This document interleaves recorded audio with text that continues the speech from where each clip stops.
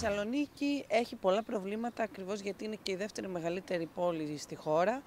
Ε, τα γνωστά καθημερινά μεγάλα ζητήματα είναι αυτό της καθαριότητας, της κυκλοφορίας μέσα στην πόλη, της έλλειψης χώρων πάρκινγκ. Σε όλα αυτά τα θέματα ε, υπάρχει πλάνο και υπάρχει πρόγραμμα από το Συνδυασμό Θεσσαλονίκη μαζί και υπάρχουν άνθρωποι οι οποίοι γνωρίζουμε και μπορούμε να εξελίξουμε τις διαδικασίες, να τροποποιήσουμε πολλές από αυτές που ήδη έχουμε αντιληφθεί και έχουμε διαπιστώσει ότι δυσλειτουργούν και να επέμβουμε άμεσα από την πρώτη μέρα στα μεγάλα θέματα της πόλης. Εγώ είμαι ήδη Δημοτική Σύμβουλος με τη Διοίκηση Μπουτάρη, έχω δουλέψει πολύ στην τοπική αυτοδιοίκηση και από θέσεις ευθύνης. Γνωρίζω τα θέματα του Δήμου Θεσσαλονίκης ιδιαίτερα και πήγα και με την Κατερίνα Νοτοπούλου και το Συνδυασμό Θεσσαλονίκη μαζί, γιατί θεωρώ και ξέρω ότι είναι ο μόνος συνδυασμός που μπορεί να συνεχίσει το μεγάλο έργο που κάναμε ήδη ως διοίκηση και ως παράταξη με τον Γιάννη Μπουτάρη. Θα ήθελα να επιλέξουν την προοδευτική παράταξη της Κατερίνας Νοτοπούλου, το Συνδυασμό Θεσσαλονίκη μαζί,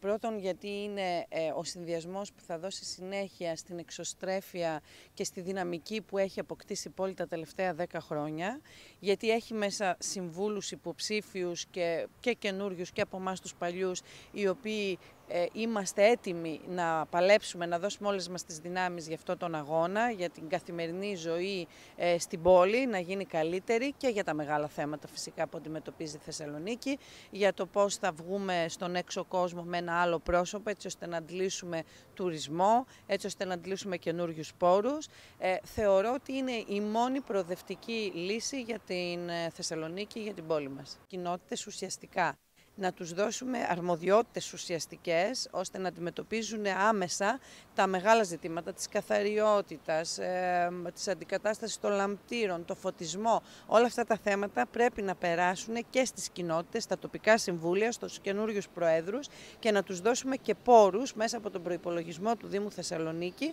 έτσι ώστε να μπορούν να έχουν στα χέρια τους τα εργαλεία να κάνουν πράξη αυτά τα οποία έχουμε ως παράταξη μαζί.